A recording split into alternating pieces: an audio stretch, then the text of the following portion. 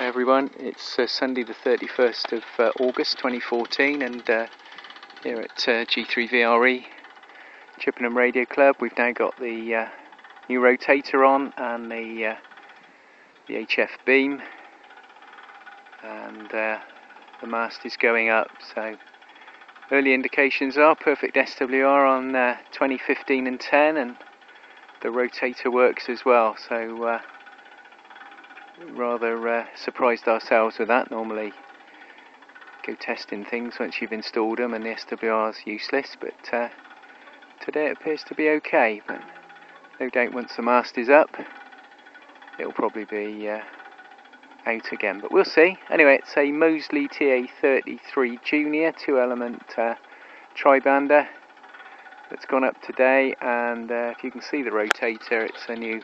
I think it's a KR400 or equivalent got uh, Gary M0 OTL winding uh, the mast up of uh, M0 OTL mounts and fabrications. He'll be at the Chippenham uh, Club Rally with all his wares on the 19th uh, of October. That's at Neston Memorial Hall near Corsham in Wiltshire. Further details on the uh, club website www.g3vre.org.uk. Got Brian G4UJL, club chairman there, orchestrating events, making sure everything's done in a safe manner with the uh, the cordon uh, in place. And there it is. It's uh, on its way back up, and um, hopefully have this uh, tested shortly. But um, it's good to have the uh,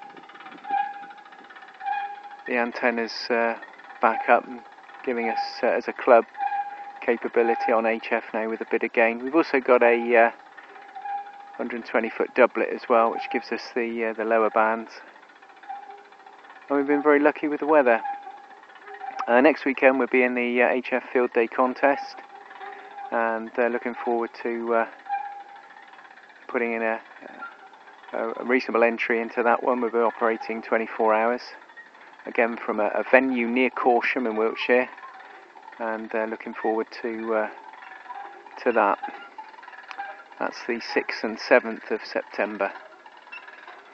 So there's the mast, obviously not uh, at its full height, but it's uh, it's up, and we've got the uh, the HF beam back on. So there we go. G3VRE back on with uh, bit of gain on HF. So 7.3, thanks for looking, and uh, we'll go and do some tests. All the best.